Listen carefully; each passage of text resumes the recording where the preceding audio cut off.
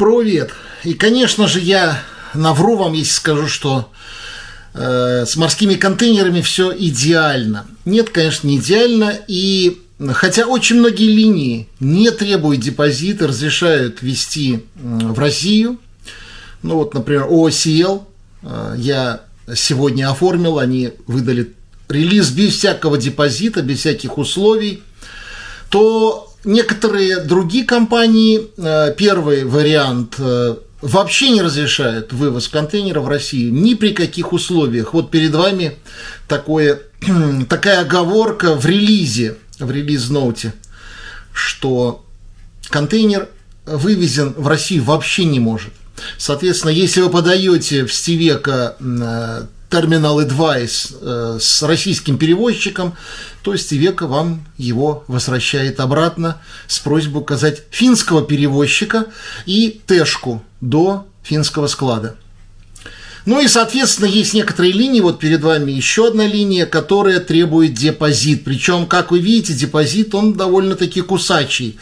И очень многие клиенты отказываются от этого депозита по одной простой причине, что они даже, может быть, и могут заплатить его, но как им этот депозит возвращать, потому что как только эти деньги вернутся к ним на счет, они 80% должны э, продать государству за рубли.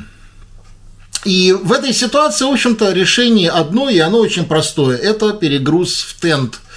Э, на самом деле в Котке, вы сами знаете, складов очень много, и мы тоже этим грешим мы тоже перегружаем э, в машину. Как это приблизительно выглядит? Вот приблизительно так вот. Это вот только что загруженная машина. Так вот выглядит склад, и есть несколько нюансов. Первое, склады сейчас забиты. Забиты той э, продукцией, которая прибыла в Котку, но которая по разным причинам, в общем-то, выехать из Котки не может. Соответственно, ждем, пока э, таможня даст какое-то добро, клиент сделает какие-то письма о двойном назначении, и получатель сделает письмо о конечном пользователе. Все это достаточно длительная процедура, поэтому склады забиты. Поэтому первый вопрос, есть ли возможность почти прямого перегруза, то есть сегодня выгрузили на склад, а завтра забрали в тенте, то цена очень низкая. Если груз э, на палетах, то цена очень низкая. Ну, а так, в принципе, у меня на сайте цены указаны, ну, наверное, за контейнер от 200, ну, не знаю, до 700, до 800 э, евро.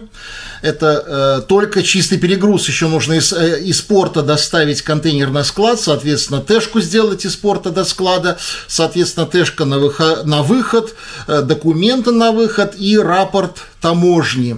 Все, в общем-то, в целом это не самое дешевое занятие, но тем не менее иногда это дешевле, чем потерять груз, и иногда это дешевле, чем платить депозит, и потом непонятно, как его обратно возвращать. Ну вот в двух словах про систему перегрузов по грузам, которые в том числе перенаправляются к нам в Котку из Роттердама и Гамбурга. Берегите себя, до очень скорых встреч, пока.